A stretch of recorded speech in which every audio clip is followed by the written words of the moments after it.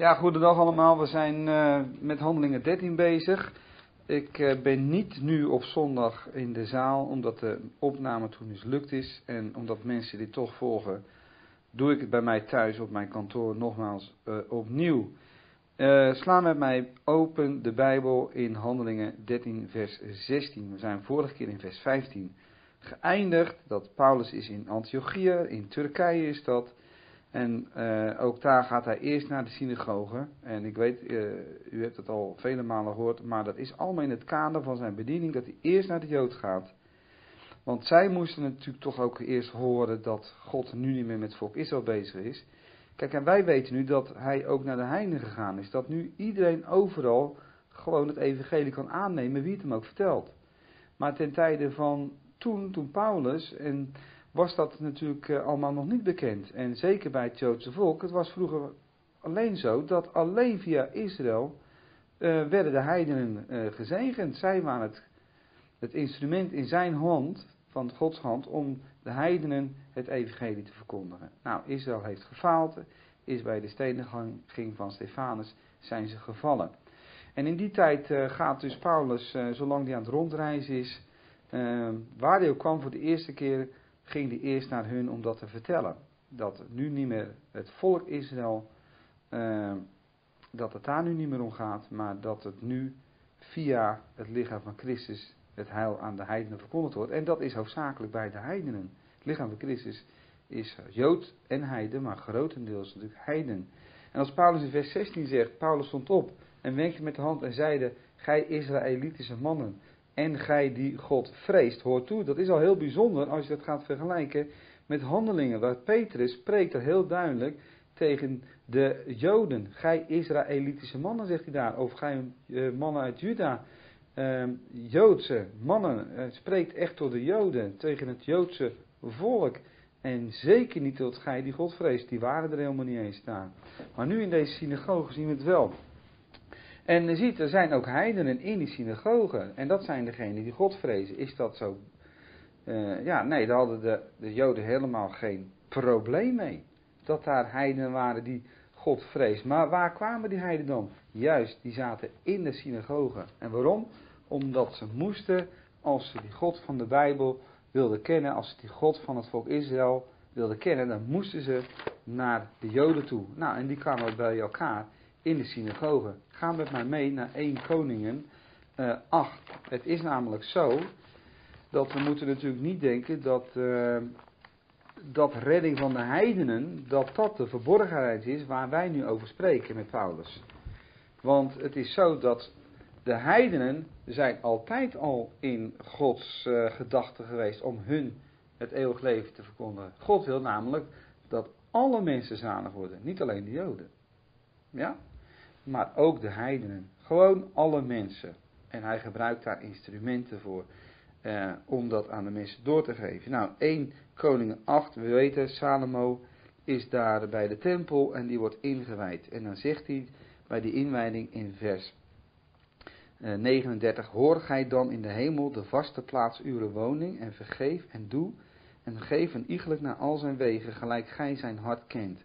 Want gij alleen kent het hart van alle kinderen der mensen opdat zij u vrezen al de dagen die zij leven zullen op het land, dat gij onze vaderen gegeven hebt. Ziet u wel, God heeft het land Israël aan hun gegeven, de vaderen. Dat land is van Israël, dat zal het ook altijd blijven. Zelfs ook aangaande de vreemde, dat is de heiden, die van uw volk Israëls, ziet u wel, wie is het volk van God in die tijd? Israël, zij zijn zijn volk. Nou, de vreemde die van uw volk Israël niet zal zijn, de heiden dus, maar uit verre landen om uw naams wil komen zal, want zij zullen horen van uw grote naam en van uw sterke hand en van uw uitgestrekte arm, en dat is ook de bediening van het volk Israël en de heidenen toe, ehm, als zij komen en bidden zal in dit huis. Dus als die heiden zal komen, helemaal naar Israël toe en zal bidden in dat huis, in die tempel, hoor gij dan in de hemel de vaste plaats uw woning, en doe dan alles waarom die vreemde tot u roepen zal opdat alle volken der aarde uw naam kennen. Ziet u wel? Het gaat om dat alle volken, alle heidenen uw naam kijken, uh, kennen, om u te vrezen. En wat staat daar? gelijk uw God Israël, uw volk Israël. En er staat om u te vrezen. Nou, Paulus sprak tot diegene in de synagoge, gij die God vreest. Dan spreekt hij over heidenen die God vrezen. En dat is ook de bedoeling. U ziet in vers 43 dat zij zullen uw naam kennen en u vrezen. En dan staat er, gelijk uw volk Israël. Precies zoals uw volk Israël. Dus de heidenen, het is de bedoeling dat zij dat ook gaan doen in navolging van het volk Israël. Je ziet al dat Israël als eerste hem moeten kennen en vrezen. En dan zijn de heidenen aan de beurt. Hij maakt heel mooi die vergelijking om u te vrezen, gelijk uw volk Israël. En om te weten dat uw naam genoemd wordt over dit huis, het welk ik gebouwd heb.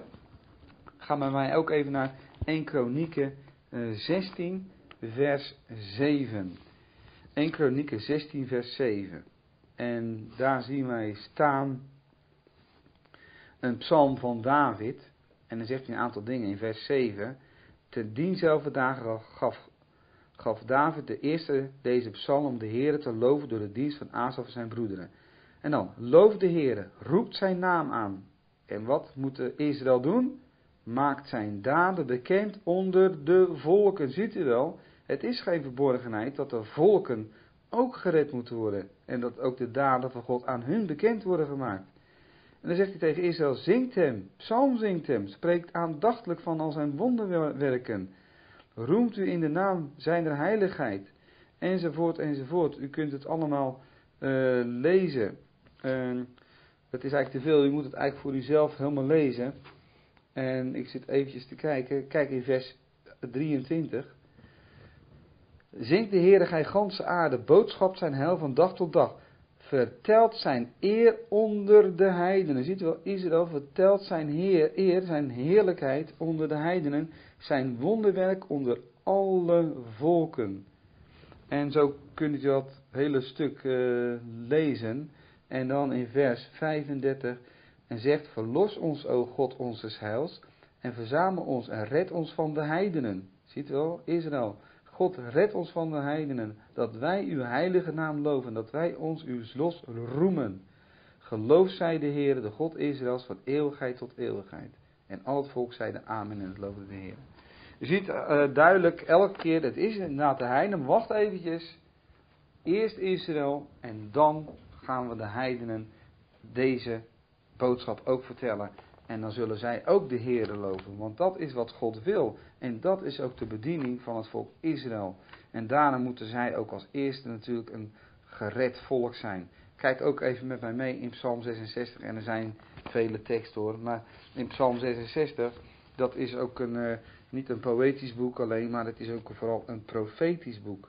En uh, Psalm 66 vers 1 zegt hij, juicht goden, gij ganse aarde. Ziet u wel, de aarde moet van uh, God juichen. En vers 2, Psalm zingt de eer zijns naam, geeft eer zijn lof. Vers 4, de ganse aarde aanbid u en psalm zingen, de ganse aarde. Ziet u wel? En dan gaan we even verder naar uh, vers 8, daar staat, looft gij volken onze God. Wiens God? Onze God. Ja, dat is David die dat zegt. Het is onze God, het is de God van Israël. En hij wil dat de volken hun God gaan loven. Dus dan moet het wel eerst jouw God zijn. Dat wil zeggen, je moet natuurlijk ook wel een gered volk zijn. Zodat je kan zeggen, het is onze God. En dan zien de volken dat ook. En dan gaan zij hem ook loven. Want dat is wat God wil. Kijk ook in vers 16. Eh, Komt, hoort toe, o allen gij die vreest. Wat zegt David daar? Kom, kom, kom naar ons toe, hoort toe. O allen gij die God vreest. Ziet u wel, daar heb je het weer. Gij volken die God vreest, dat zijn degenen, de heidenen, die God zoeken, die hem willen leren kennen. En dan zegt David, ik zal vertellen wat hij aan mijn ziel gedaan heeft. Ziet u wel? Dus ik, David, ik koning David en wij, het volk Israël, wij hebben het heil. Kom naar ons toe. Wij kunnen jullie vertellen wat God ons gedaan heeft. Hij heeft ons gered. En hij is de schepper. En hij is de enige God. En er is geen andere God. En dat moeten ze van Israël horen. En daarom moeten de heidenen ook naar Israël toe en naar hun luisteren. En zijn ze dus afhankelijk, want het is niet de God van de heidenen, het is de God van het volk Israël. En daar kom ik zo meteen nog op terug. Maar in Psalm 67 zien we ook staan, ehm, ook weer doodgeschreven in vers 2, God zij ons genadig en zegene ons. Hij doet zijn aangezicht ons lichten.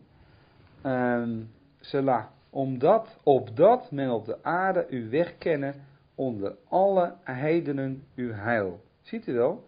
Zijn aanzicht moet over hun lichten. Dat betekent dat Israël gered is. Nu zien we dat niet.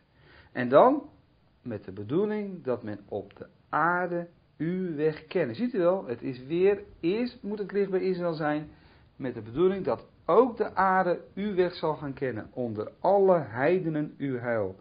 De volken, dat is niet Israël, hier spreekt het, de volken, de heidenen, zullen u, o God, loven. De volken altemaal zullen u loven.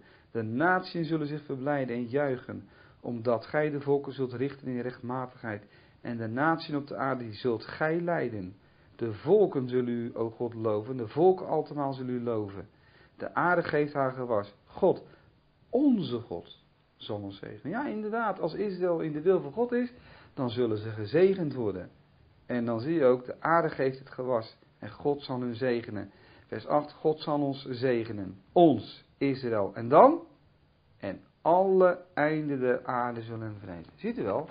Dus dat daar heidenen in de synagoge kwamen bij Paulus, dat is geen, niet iets als waar ze op keken. Ze hadden in die zin geen uh, hekel aan de heidenen. Maar wacht even, zolang Israël maar op de eerste plaats stond natuurlijk. En Israël was het volk van God, het was onze God. Zij hadden de wet, ze hadden de profeten, ze hadden de verbonden. En de heidenen hadden niks. En daarom alleen volk Israël, dat was het instrument waardoor de heidenen eh, God zullen gaan loven. Dus de plaats van Israël is natuurlijk heel belangrijk, of ze inderdaad ook God zullen dienen natuurlijk en hem zullen volgen. En dat is nou net het probleem geweest. En daarom zitten we nu in de tijd, in Handelingen 13, dat Israël is gevallen, maar let op, tijdelijk, en leven nu in de bedeelde genade, waar Paulus dus de apostel van is. En die verkondigt een programma, dat gaat niet over alle volken op de aarde, maar dat gaat over het lichaam van Christus, Jood en Heiden in één lichaam, die zullen gaan regeren, niet hier op aarde, maar straks in de hemel, hier in het universum om ons heen. Nou, en gij die God vreest, handelingen 13 vers 16. En dat is ook bijvoorbeeld, dat was ook uh, Cornelius bijvoorbeeld, die ging, uh, dat was ook iemand die God vreest, een heiden. Dus nogmaals, let op, de verborgenheid is niet dat heidenen gered worden. De verborgenheid is nu dat er nu tussen Jood en Heiden geen verschil is in het lichaam. En dat de redding nu aangeboden wordt, niet door Israël, maar juist zonder Israël. Het heil is nu bij de heidenen. Het heil is nu bij het lichaam van Christus. En het lichaam van Christus is over de hele wereld. En daar maakt het niet uit wat voor, uh, of je nou Nederlander bent, of een Jood, of een Duitser. Dat maakt niet uit. Het is het nieuwe schepsel. En ze zitten samen in het lichaam. Dus het is niet het volk meer wat in Israël woont, maar wat nu over de hele wereld is. En dat is het grote verschil. Dus de Jood heeft geen voorrang meer boven de heiden. En daarom is het zo bijzonder als Paulus in Handelingen 13, vers 16 zegt: Gij Israëlitische mannen en gij die God vreest. Dus hij roept ze, hij spreekt ze nu allebei aan. Nou, dat deed Petrus dus absoluut niet, hè. Als u de serie een beetje gevolgd hebt, dan weet u dat in Handelingen 2 en daarna dat Petrus, maar ook de Heer Jezus, die ging, richtte zich alleen tot de verloren schapen van het volk Israël. En niet tot de heidenen, omdat de heidenen, die komen pas daarna aan de beurt. Eerst moet Israël gered worden. Goed, en als we nou naar vers 17 tot en met 23 kijken, dan zien we dat gaat over de trouw van God en zijn barmhartigheid, zijn handelen, zijn trouwe en liefdevolle, genadevolle handelen met het volk Israël door al die tijd heen. En, maar wat voor Israël was dat? Het was als volk een wederspannen volk. Natuurlijk niet, ze waren allemaal niet zo. Er waren ook gelovigen, individuele, gelovigen in het volk. Maar als zodanig het volk als geheel was weerspannig. En daarom zegt Paulus in vers 17, die gaat hij dat dus aantonen. Om te laten zien, uiteindelijk, aan het eind, dat ja, toen, uh, nou dat gaan we nu even zien. De God in vers 17 van dit volk, zegt het weer, de God van dit volk, Israël. Het was hun, hun God, heeft onze vaderen uitverkoren en het volk verhoogd als zij vreemdelingen waren in het land van Egypte en heeft er met een hoge arm uitgeleid. Kijk, ze waren dus vreemdelingen in het land, ze waren gevangen, Ja, maar hij heeft ze wel met een hoge arm uitgeleid. Hij heeft ze bevrijd. En waar is tevreden? Ja, in het begin wel. Maar toen ze eenmaal in de woestijn een tijdje rondliepen, toen werden ze ontevreden. En ze murmureerden. En dat zie je ook in vers 18.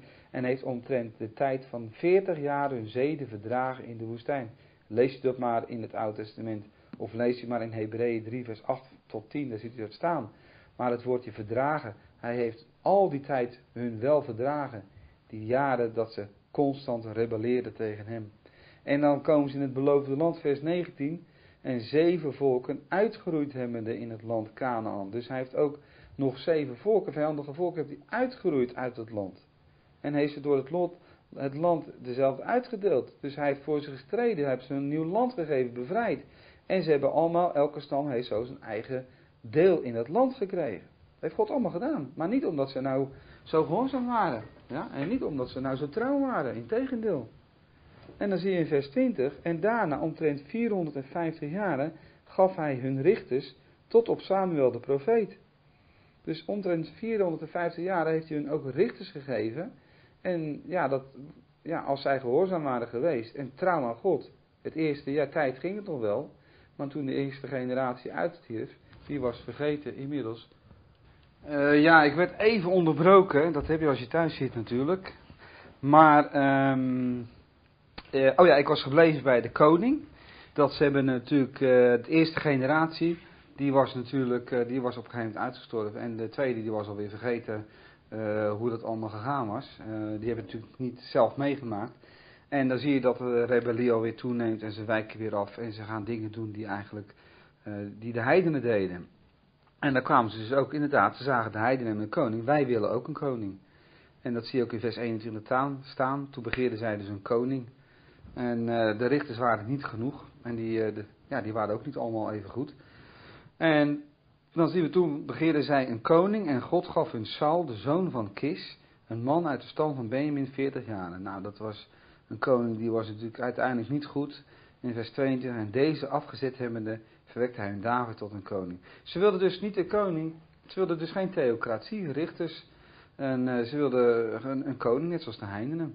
Nou, en uh, toen heeft God ook gezegd, nou oké, dan krijgen jullie een koning. Maar ik ben eigenlijk jullie koning. U kunt dat heel duidelijk lezen in 1 Samuel 8, vers 5 tot 7. Dan zegt hij, uh, ze hebben niet jou verworpen, Samuel, zit maar niet in zak en as. Want Samuel was ook een richter, maar, uh, en een, een richter van God. Maar ze hebben mij verworpen, God de Vader, hun God, de God van het volk Israël. Hun koning, de enige, die hebben ze verworpen. Dus nou ja, dat, zo zie je maar dat Paulus dat niet voor niks gaat zeggen. En dan gaat hij door in vers 22. En deze afgezet hebbende, hij hun David tot een koning. De welke hij ook getuigenis gaf en zeide, ik heb gevonden David, de zoon van Isaï, een man naar mijn hart, die al mijn wil zal doen. Van het zaad dezes heeft God Israël naar de belofte verwekt de zaligmaker Jezus. Dus nou komt hij uiteindelijk uit dat uh, God heeft een zaligmaker ook nog verwekt. Dus ze hebben een koning uiteindelijk begeerd. En uh, uit die koning uiteindelijk komen helemaal bij de Heer Jezus uit. En daar gaat het erom, ze hebben dus de koning niet geaccepteerd. Uh, of de richters, en toen kreeg, gaf God hun dan weer een koning. En terwijl ze hem eigenlijk verworpen hadden. En dan zie je al die tijd is er rebellie geweest. En dan komt op een gegeven moment de Messias, de Heer Jezus Christus. Die wordt dan uh, uiteindelijk uh, geeft God hun dus ook een reddende Messias. Nou, de vraag is, hebben ze die gewild? De Messias, ze verwachten natuurlijk een koning, hè? En uh, niet dat hij aan het kruis zou sterven voor ze. Dat, maar ja, er is geen koninkrijk met een koning met vrede op aarde, als niet eerst voor de zonde natuurlijk geboet is aan het kruis. Maar daar hadden ze niet zoveel interesse in. Het ging natuurlijk om de koning die hun zou verlossen van hun vijanden. En ze waren onder vreemde overheersing. Maar hebben ze die ook geaccepteerd dan? Hebben ze dat aangenomen? Ook opnieuw niet. ze hebben, toen de Jezus op aarde was, hebben ze hem ook niet geaccepteerd. Dus elke keer is God genadig geweest en barmhartig. Want ze zeiden, nee, wij willen niet dat deze koning zij over ons. Want de keizer Caesar is onze koning. Dus die hebben ze toen ook verworpen. Dus ja, u ziet het. Paulus zegt dat niet voor niks. Ja? En dan zie je het volk Israël, daar gaat het om. En dat zegt hij ook daarom. Het gaat om het volk Israël. Ze zijn altijd al wederspannig geweest. En nu komen we op een gegeven moment bij Jezus, de Messias van het volk. En die hebben ze ook verworpen. En dan gaat hij door met Johannes 24, of in vers 24. En als Johannes eerst al de volken Israëls voor zijn aankomst gepredikt had, de doop de bekering. Johannes was de, de heraut van de koning. want dat was hij, voor zijn aankomst. Wat hebben ze met Johannes de doper gedaan? Die hebben ze ook, uh, uh, hebben ze, uh, hebben ze ook niet tegengehouden dat hij gedood zou worden. Nee, ze lieten het toe. En de Heer Jezus Christus, nu hebben ze het zelfs geëist dat hij gedood werd. Dus, u ziet het, Johannes die kondigde die, de, de komst aan, hij was de heraut en hij predikte de doop de bekering. Ja, want Israël was natuurlijk afvallig. De Heer Jezus zei zelfs, de duivel is jullie vader, dus jullie moeten terug. Terug, jullie moeten je bekeren. Ik ben jullie vader. Hè? Keer je terug tot God. En uh, dat was ook de doop de bekering en van de beleidenis der zonde. Hè? In Matthäus 3 zegt hij dat heel duidelijk, dat ze, ziet, ze lieten zich dopen, beleidende hun zonde. En niet zozeer hun persoonlijke zonde, maar de zonde van het volk, dat ze al die tijd toch ongehoorzaam waren geweest en niet hadden geluisterd naar God. Dat was de bekering van het hart. Dat ze dat, dat, ze dat zo zouden zeggen. Nou, en dat was de doop der bekering en tot vergeving der zonde. Dat zegt hij ook heel duidelijk. Kijk even met mee in Lucas 1 vers 17 over Johannes de Dopen. Even gauw, Lucas 1 vers 17. En dan zie je wat daar staat. Um, dat wordt over Johannes de Doper gezegd. Hij zal vele, vers 16, der kinderen Israëls bekeren, zie je wel, terug tot de Heere hun God. En hij zal voor hem heen gaan in de geest en kracht van Elia, om te bekeren de harten der vaderen tot de kinderen en de ongehoorzamen tot de voorzichtigheid der rechtvaardigen. En dan om de Heere te bereiden een toegerust volk. Dus dat ze toegerust zijn, dat ze zich bekeerd hebben en dat ze zijn klaar om de koning te ontvangen. Dat is wat Johannes de Doper kwam doen. Um, kijk ook in, in Lucas 3, vers 3. Dan zie je het ook staan. En hij kwam in al het omliggende land de Jordaan, predikende de doop der bekering. Ja, waarom moet je je bekeren? Ja, als je, maar zij roemden in zichzelf en in hun werken, maar niet in het geloof. En Daarom, ze moesten zich daarom ook bekeren. Als ze waren gelovig geweest, hadden ze hem ontvangen. En hoefden ze zich niet te bekeren. Maar dan ziet u ook erachter staan, tot vergeving der zonde. Goed, we gaan terug naar handelingen 13. En dat was Johannes. En dan zien we in vers 26. En dan zegt Paulus nu vrij uit. Ja, nadat hij dit overzicht heeft gegeven van de geschiedenis van het volk Israël. Uiteindelijk komt het hierop neer. Israël is weerspannig geweest tegenover een langmoedige, barmhartige God. En die is zeer zeker langmoedig geweest, zoals hij dat nu ook is. want hij zegt ook zelf, wees traag tot toornen tegen ons. Ja. Maar God is daar inderdaad een heel duidelijk voorbeeld van. Hij is heel erg liefdevol en toch geduldig en barmhartig al die jaren, al die eeuwen geweest. Maar er komt een keer een eind aan en dat is wat Paulus gezegd eigenlijk. Ja. Dat gaat hier vertellen. Maar daar zien we in 26 mannen, broeders, kinderen van het geslacht Abraham. Ziet u wel? Het geslacht Abrahams. Jullie, het Joodse volk. En die onder u God vrezen. Ziet u wel? Hij spreekt weer beide partijen toe. Niet alleen de Jood, maar ook de heiden. En dan zegt hij, tot u is het woord deze zaligheid gezond. Dat is, dat is eigenlijk heel bijzonder dat hij dat zegt, want tot u, dat is hier meervoud. Dat is niet alleen, spreekt hij tegen Israël zoals Petrus dat deed, maar tot u, tussen jullie Joden en de heidenen, is deze zaligheid, het wordt deze zaligheid gezonden. En, eh, want die te Jeruzalem wonen en hun overste, deze niet kennende, hebben ook de stemmen der profeet die op elke sabbatdag, dag, sabbatdag gelezen wordt en veroordelende vervuld. Dus als Paulus zegt, tot u is deze zaligheid gezonden, het woord deze zaligheid. Ja, hij zegt niet zozeer hoe je zalig moet worden, maar het woord deze zaligheid gaat meer over wie is dat? En dat is de Messias natuurlijk, de zaligmaker Jezus. En die is gezonden en die is voor iedereen. Ja? Maar Paulus gaat zo meteen vertellen dat dat nu toch wel iets anders, uh, dat er iets veranderd is. Dus hoe je zalig wordt. En wie zalig wordt. En door wie en hoe je zalig wordt. Nou, de redding blijft dus aangeboden. Dat is eigenlijk wat we hier kunnen zien. De redding blijft dus aangeboden.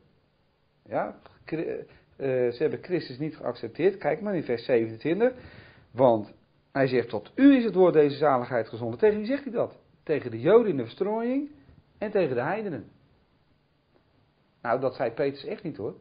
Ja, absoluut niet. Dat was alleen voor het volk Israël. En dan zei hij het vooral in eerste instantie. Er waren ook mannen van de buiten van, uh, in de verstrooiing. Maar het was natuurlijk eerst voor die in Jeruzalem zijn. En dan voor Judea en dan Samaria. Dat zie je ook in vers 27. Want die te Jeruzalem wonen en hun overste, deze niet kennende, hebben ook de stemmen der profeten die op elke Sabbatdag gelezen worden, hem veroordelende vervuld. Dus het verkeerde geslacht in vers 27, dat zijn zij. Dat is, we zien hier staan, die te Jeruzalem wonen. En in vers 28, en geen oorzaak des doods vindende, hebben zij, van Pilaats begeerd dat hij gedood zou worden. Ja? Dat waren die te Jeruzalem waren en hun leiders. En alles, als zij alles volbracht hadden, wat van hem geschreven was, hem af van het hout en legde hem in het graf. Wie zijn dat? Dat is het afvallige Israël. Dat zijn degenen waarvan Peter zegt, wordt behouden van dit verkeerd geslacht. Ja, dat zijn zij die Christus gekruisigd hebben. En die na zijn kruisiging ook verworpen hebben. En als zij al, er staat ook, ze hebben hem dus in het graf gelegd, maar vers 30, God heeft hem uit de dood opgewekt. Dat is wat God gedaan heeft. En zij zijn constant tegen geweest. Ze hebben hem constant vervolgd. Ze hebben de apostelen constant vervolgd. En ze waren tegen. En ze verkondigden ook de opstanding, de apostelen. En ze waren tegen. Ze hebben ze vervolgd en geprobeerd om te brengen. En uiteindelijk was Paulus daar zelfs de leider van. Nou, als we kijken naar 28, 29, dan zien we daar staan. Of uh, sorry, ik zeg het verkeerd. Vers 30 tot en met 32. Uh, God heeft hem uit de dood opgewekt. Welke gezien is geweest, vele dagen lang, van degenen die met hem opgekomen waren van Galilea. Tot Jeruzalem, die zijn getuigen zijn bij het volk. Ja, die gezien zijn. En vele en getuigen waren bij zijn volk. En dat is ook een belangrijk iets. Als je dat zegt tegen de Jood. Ja. Uh, er staat hij werd gezien. Vele dagen lang door degenen die met hem opgekomen waren. Van Galilea tot Jeruzalem. De twaalf apostelen zijn al die tijd bij hem geweest. Judas is natuurlijk uh, later vervangen, want dat was natuurlijk geen gelovige. Maar die waren zijn getuigen bij het volk. Na de opstanding hebben zij getuigd van de Heer Jezus Christus. Hoe hij op aarde liep, maar ook, van, over, ook over zijn opstanding. En dat hij een vervulling was van de profetie en dat hij de Messias was. Maar ze zijn getuigen. Kijk, let op. Wat is een getuige? Een getuige is iemand die iets gezien heeft. In een rechtszaal ook hebben ze soms getuigen nodig. Die kunnen getuigen omdat ze iets hebben zien gebeuren. En dat is dan bepalend voor iemand of die uh, veroordeeld kan worden of niet. Kijk met mij mee in Jezaja 43 vers 10. Jezaja 43 vers 10. Daar zien wij staan, gij lieden zijt mijn getuigen. Wie zegt dat? Dat is wat, tegen, wat God tegen Israël zegt. Zij zijn zijn getuigen. En wie is mijn? Dat is de Heer met hoofdletters uit, uit het Oude Testament. Zeg maar, kijk maar, er staat het. Spreekt de Heer met hoofdletters. En mijn knecht. Ze zijn getuigen van de Heer met hoofdletters. En mijn knecht. Wie zijn dat? Dus Israël zal ook een getuige zijn van zijn knecht. En we weten, zijn knecht dat is de Heer Jezus Christus die straks uh, in Israël rond zal lopen. Kijk maar, die ik uitverkoren heb, opdat gij het weet en mij gelooft en verstaat dat ik dezelfde ben, dat voor mij geen God geformeerd is en na mij geen zijn zal. Ik, ik ben de Heer en er is geen heiland behalve ik. Ik heb verkondigd en ik heb verlost en ik heb doen horen en geen vreemd God was onder uw lieden en gij zijt mijn getuige. Spreek de Heer dat ik God ben. Ziet u wel, zij zijn de getuigen dat de Heere Yahweh de enige God is en er is er geen ander. En dat ook de God is die een heiland is. Iemand die heel maakt. En die is, uh, die verlost. Zie je, ik heb verkondigd en ik heb verlost. Het is ook mooi dat je hier, ziet staan dat ze ook de getuigen van zijn knecht zullen zijn Israël. Ziet u wel, wie zijn nou de getuigen? Zijn dat de heidenen? Nee, het volk Israël is de getuige van God.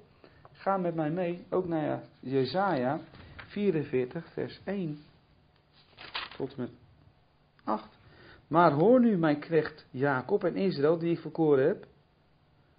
Uh, ik zie iets dat ik niet goed doe. Uh, ja, het is wel 44. En dan zegt hij in vers 8. Verschrikt niet en vrees niet. Heb ik het u van toen af niet doen horen en verkondigd? Want gij lieden zijt mijn getuigen. Is er ook een God behalve ik? Immers is er geen andere rotsteen, ik ken er geen. Wie is de rotsteen? Ja, Christus is ook de rots, hè? Dat is de steen waar ze over gestrijkeld zijn. En daar zijn zij getuigen van. Handelingen 1 vers 8. Dus als een Jood dat hoort, wat even. Kijk, toen de Heer Jezus dat zei in Handelingen 1 vers 8. Wat zegt hij daar? Maar gij, dat zegt tegen de twaalf, nadat hij, uh, voordat hij opgevaren, dat hij op zal varen naar de hemel, gij zult ontvangen de kracht van de Heilige Geest. Nou, dat zullen ze ontvangen met Pinksteren, die over u komen zal. En dan, gij zult mijn getuigen zijn, zo tot Jeruzalem als in geheel Judea en Samaria en tot het uiterste der aarde. Ziet u wel? Zij zullen dus zijn getuigen zijn. Een vervulling, het is helemaal zover. Nu zijn ze inderdaad getuigen van zijn knecht. En de tijd is gekomen, want hij is de Messias. En zij gaan getuigen nu. Met handelingen, met Pinkster zal Israël, zullen de twaalf eerst voor het volk gaan getuigen. Ja, want eerst moet Israël dat weten. Eerst moet Israël de Messias aannemen. Daarom staat het ook in Judea, Samaria, is Jeruzalem, geheel Judea, Samaria en tot aan het uiterste der aarde. Nou, dat is het getuigen zijn. Nou, Israël moest dus eerst getuige zijn van zijn knecht voor het eigen volk. En dat begon met de twaalf apostelen. Maar we weten, tot handelingen 7, de steniging van Stefanus, hebben ze wel getuigd, maar ze hebben het niet aangenomen. En vandaar dat straks de grote verdrukking komt om dat volk te zuiveren. En dan zal in het koninkrijk zal een gezuiverd Israël zijn. Dat kaf zal van het koren gescheiden zijn. En er zal alleen een verlost Israël zijn. Wat dan zal gaan getuigen, niet meer naar Israël toe, maar naar de heidenen toe. Dus wat zien wij? Eerst Jeruzalem, Judea, Samaria. Ja, dat is nog steeds niet gebeurd. Straks als de bedeling der genade afgelopen is, dan zal, de, zal Israël gezuiverd worden. En dan zal heel Israël zal de Heer kennen, het gelovige Israël. En dan zal hij in het koninkrijk zijn. En dan zal Christus daar op de troon zijn. En dan zullen zij van hem gaan getuigen bij de heidenen. Dus dat laatste plan naar de heidenen toe, waar Matthäus 28 vers 19 over spreekt. Verkondigt alle volken. Kijk even gaan naar Matthäus 28 vers 19. Matthäus 28 vers 19. Wat is de grote opdracht in het koninkrijk? Niet eerder, niet na de tijdens de grote verdrukking. Matthäus 28 vers 19 gaat dan heen, onderwijst al de volken. Ja, ze moeten de volken onderwijzen. Ziet wel, hier spreekt hij niet meer eerst Judea, eerst Israël. Hier zegt hij gelijk de volken en spreekt hij hier profetisch. Dat is in feite ook de opdracht van het volk Israël. Dat zij moeten de volken onderwijzen en leren. Dat hebben we net ook al gezien in het begin. Dat de heidenen moeten God gaan loven. Dan moeten eerst God bekendgemaakt worden door Israël. Nou, dat zien we hier staan. Onderwijst al de volken. Dus Israël moet de volken gaan onderwijzen. Dopende in de naam Vader, Zoon en Heilige Geest. Lerende hen onderhouden alles wat ik u geboden heb. Ziet u wel? Dan is het het verloste Israël in het koninkrijk. En dat gaat dan getuigen naar de heidenen toe. Dat hij, dat Jezus Christus, dat hij God is.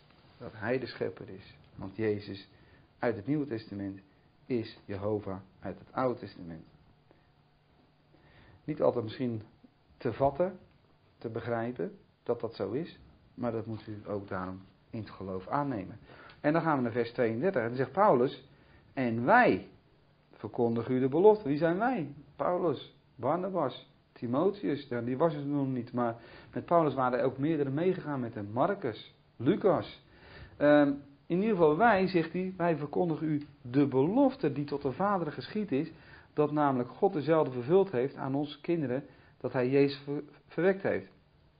Paulus zegt, wij gaan u iets verkondigen. Dat wil zeggen, net zoals wij, wij zijn gezanten van Christus. En wij verkondigen iets. Maar wij zijn geen getuigen. Omdat wij zijn geen getuigen van zijn opstanding geweest. Wij zijn geen getuigen van Christus toen hij hier op aarde liep. Wij zijn geen getuigen van Jehovah uit het Oude Testament. In die zin. Ja, zoals dat aan Israël verkondigd is.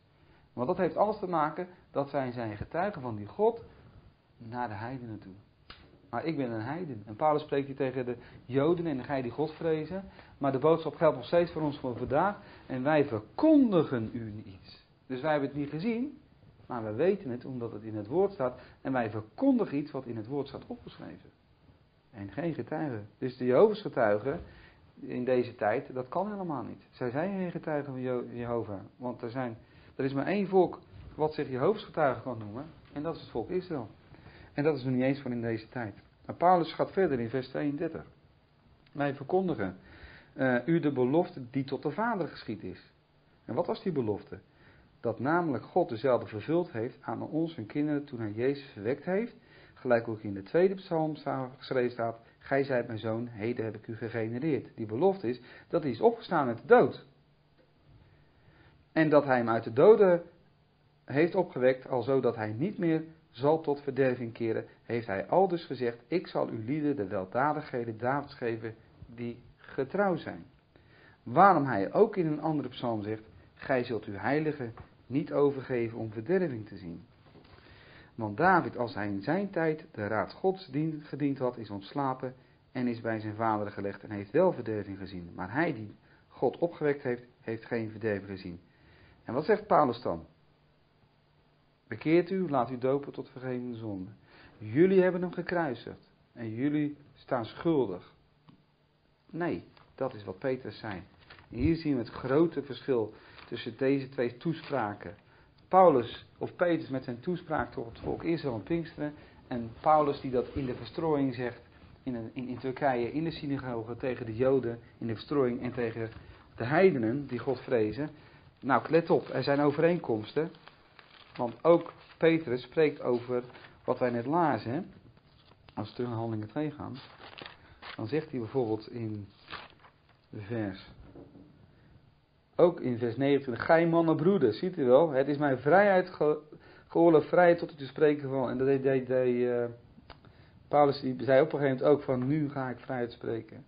Maar dan spreekt hij ook in vers 29 of in vers 27, gij zult mijn ziel in de hel niet verlaten, nog zult u heilige overgeven om verderving te zien.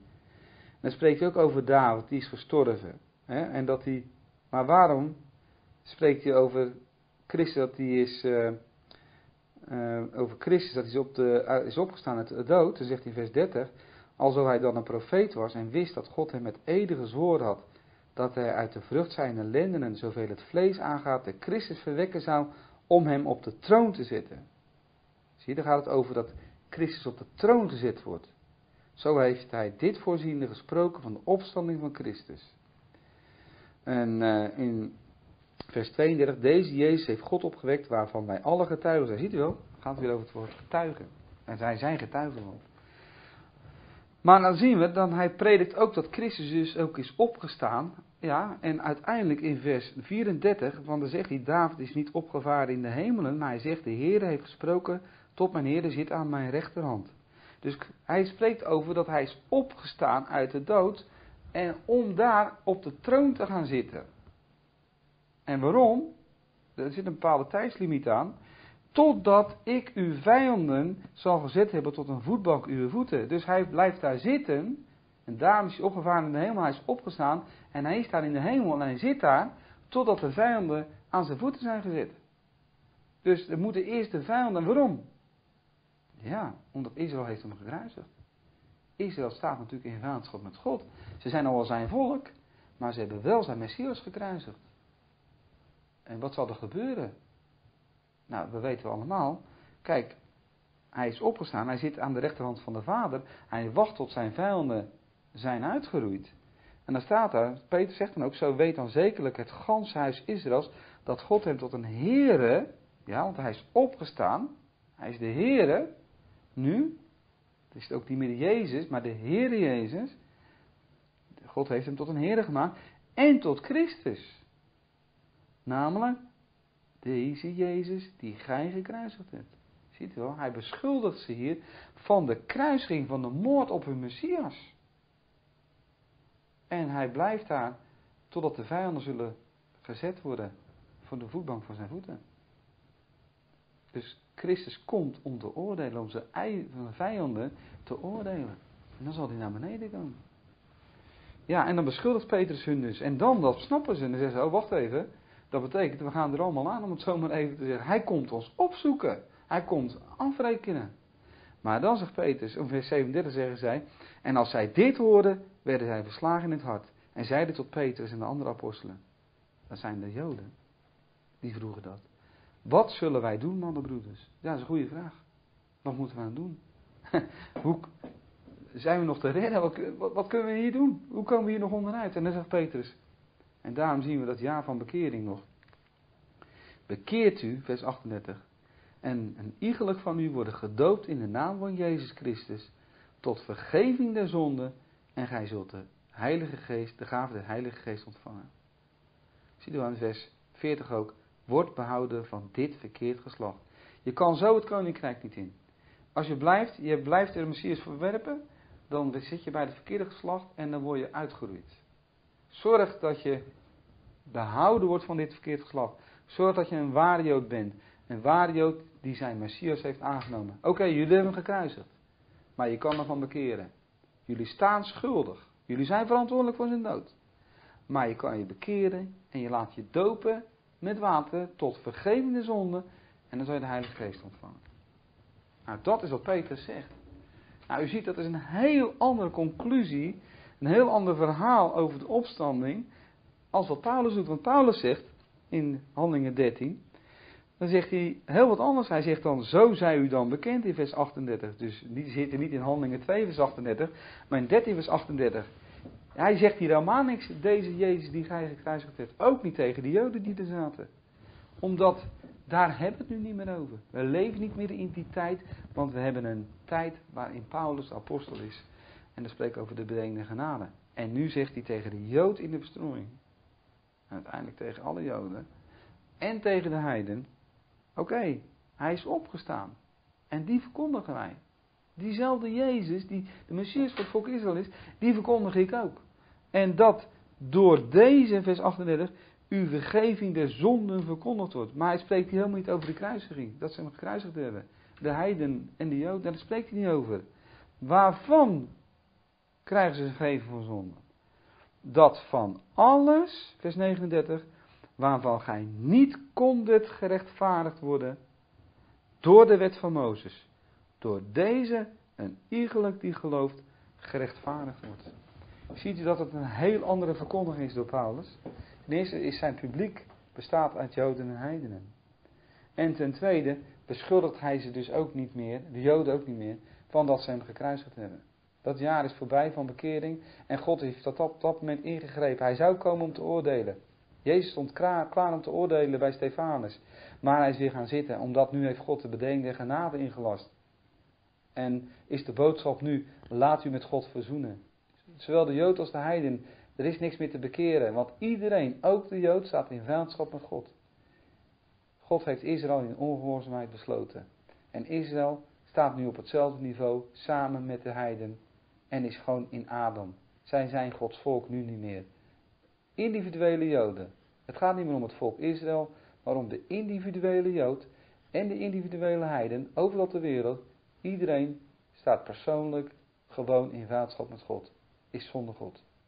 Nou, ten tijde van Petrus kon je dat niet zeggen, dat de Jood zonder God leefde, want hij was nog steeds zijn volk en daarom hij, riep hij ook op om hun te bekeren. Maar wij spreken over laat je met God verzoenen. En ook de Jood heeft vergeving van zonde nodig. En dit, wat Petrus hier zijn, ja? Kijk, Petrus die zei in, uh, in Handelingen 2, nou, om onder het oordeel uit te komen, moet je je laten bekeren en laten dopen. Maar Paulus spreekt hier over iets heel anders. Hij spreekt over dat je wordt nu vergeven van zonde aangeboden. Van alles waarvan gij niet kon gerechtvaardigd worden door de wet van Mozes. En dat was echt, als Petrus dat had gezegd met Pinksteren tegen het Joodse volk, dan had hij het waarschijnlijk niet overleefd. Want dat je niet door de wet gerechtvaardigd kon worden. De Heer Jezus zei ook, doe als de fariseeën, zij zit op de stoel van Mozes. De Heer Jezus leefde onder wet, hij deed de wet. Ja? En de Joden hebben altijd gedacht door de eeuwen heen dat ze door de wet gerechtvaardigd konden worden. En de ene die was in het geloof, maar die wist, ik sta schuldig tegenover God. Ik struikel en elk jaar weer moeten we die offers doen. Dat betekent, het is dus niet, het is dus niet eens en voor altijd is met de zonde afgerekend. Het moest elk jaar weer.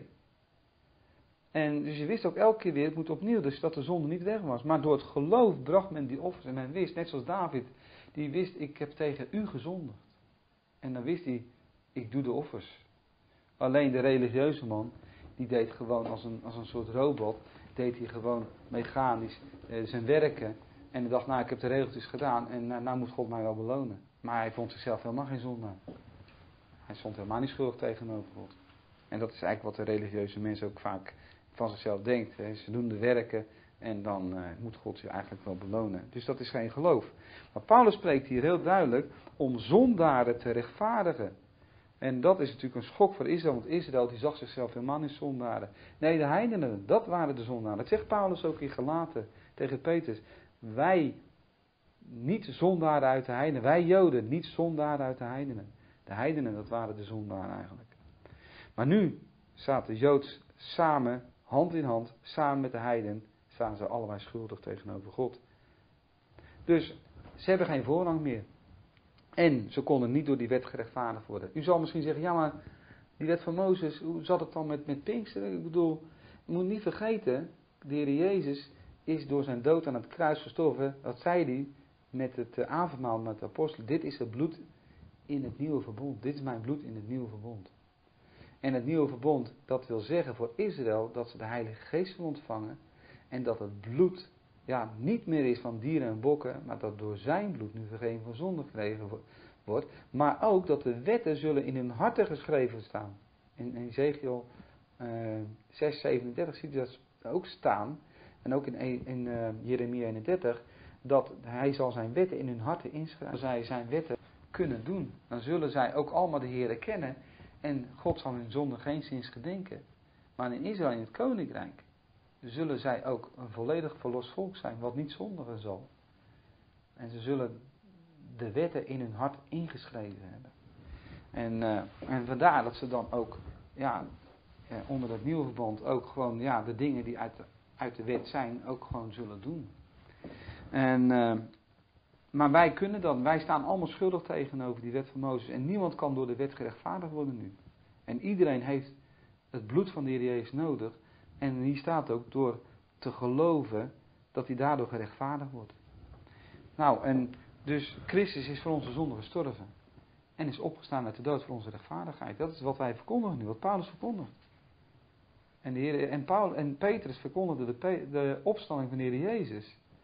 Dat was, ja, waarom is hij opgevaren? Hij is opgestaan uit de dood en zit, is gaan zitten aan de rechterhand van de Vader en om terug te komen. Ja? En wij verkondigen de opstanding heel anders, namelijk voor onze rechtvaardiging.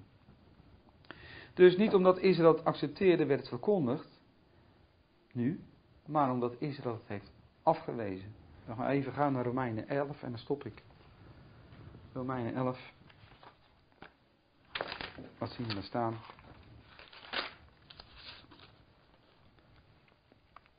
Zo zeg ik dan, hebben zij gestruikeld Israël, opdat zij vallen zouden? Dat zij verder, maar door hun val is de zaligheid der heidenen geworden om hen tot jaloersheid te verwekken. Dus de redding is naar de heidenen gegaan door hun val. Ja, dat is wat gebeurd is. Niet bij het kruis, maar later na Stefanus. En Paulus is die dat verkondigt. Indien hun val de rijkdom is de wereld. Kijk, hun val is nu de rijkdom voor de wereld, voor de heidenen, voor ons. De vermindering, de rijkdom der heidenen. Ziet u wel? Dus de heidenen hebben nu niet dankzij Israël, zoals net in het begin lazen in het Oude Testament. Het is onze God en wij gaan de daden aan de heidenen verkondigen. Dat is Israël nu niet aan het doen. Wij krijgen nu niet meer door uh, een, een gezegend Israël, ja, krijgen wij het eeuwig leven. Dat zij het aan ons vertellen. Maar wij krijgen nu door een Israël wat niet gezegend is, wat gevallen is. krijgen wij nu de rijkdom.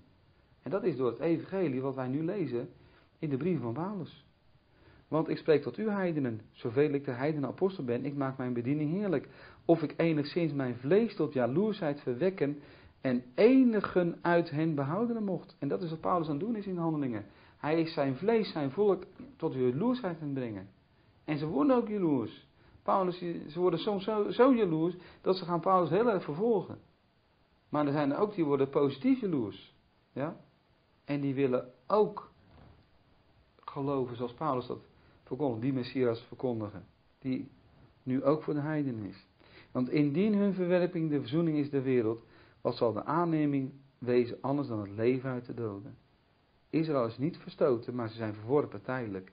En dat is nu voor ons de verzoening van de wereld. De val van Israël is nu dat de hele wereld staat schuldig voor God. En God heeft zich met de hele wereld verzoend. En Israël heeft niet meer een voorrang. En dat is onbestaanbaar in het hoofd van een Jood eigenlijk. En als we kijken naar Romeinen 3, hoe dachten ze? Romeinen 3. Wat zegt Paulus daar nu ook? Hij zegt in Romeinen 3, vers 29 en 28. Wij besluiten dan dat de mens door het geloof gerechtvaardigd wordt zonder de werken de wet. Dat heeft Petrus echt niet gezegd. Dat had hij niet overleefd. Nou, dat is ook niet wat, wat klopt. Het klopt in die zin wel, het gaat altijd om het geloof. Maar in het volk Israël, de wet is natuurlijk heel belangrijk. En uh, die wet, de werken, zal ook in hart geschreven zijn. Maar wat zegt hij in vers 29? Is God een God der Joden alleen? En is hij het ook niet der heidenen? Ja, ook der heidenen. Dus als je zegt, tegen David gezegd heeft in het Oude Testament, is God een God van de Joden alleen? Had hij gezegd ja. Als u tegen de tijden van de Heer Jezus aan de Heer Jezus had gevraagd, is hij de God van de Joden? Ja. Want de zaligheid is uit de Joden. De apostelen zouden allemaal gezegd hebben, ja. Hij is de God van, van de Joden, van, van Israël. Maar nu leven we in de bedenkende genade dat hij is nu de God van de heidenen. Dat is niet meer specifiek alleen voor het volk Israël, maar de God van de heidenen. En de heidenen, dat is inclusief de Joden, want zij zijn nu ook, ja, niet meer het volk van God. Dus als geheel bestaat het, staat in de Bijbel, in Gods ogen zijn alle mensen nu eigenlijk heidenen, niet Joden. Hoewel in het vlees zijn ze nog wel, maar ze zijn ook net zo zonder God als dat de heiden dat is.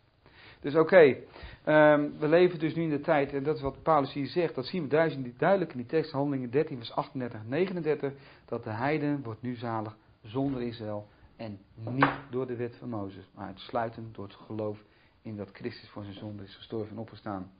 En dat is wat Paulus telkens weer gaat verkondigen in het boek Handelingen. En dan zien we dat uh, vooral drie keer wordt opgetekend dat Israël, als ze het niet aannemen, dan gaat hij naar de heidenen toe. En dan is het aan het eind van het boek voor de derde keer dat Paulus zegt, ik keer mij tot de heidenen, de zaligheid is aan de heidenen gezonden. En vanaf dat moment is het definitief dat we niet meer eerst naar de heiden gaan. Dus als wij iets dat zien, dan zien we het ook.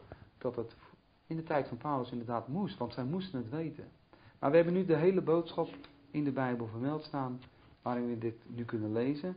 En vanaf dit moment is het aan een ieder die gelooft, Jood nog Griek, om dit evangelie te verkondigen. Voor hem zij de glorie. Amen.